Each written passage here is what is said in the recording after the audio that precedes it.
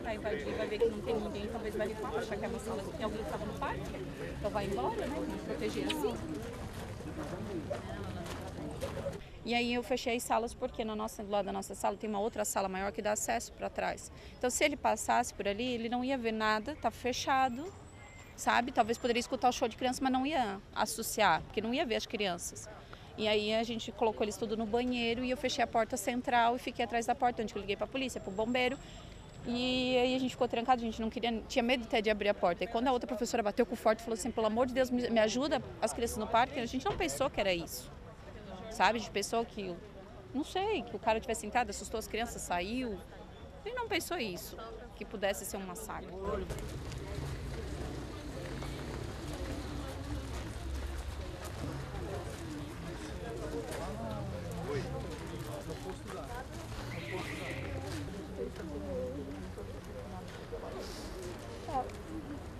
Por que não vai?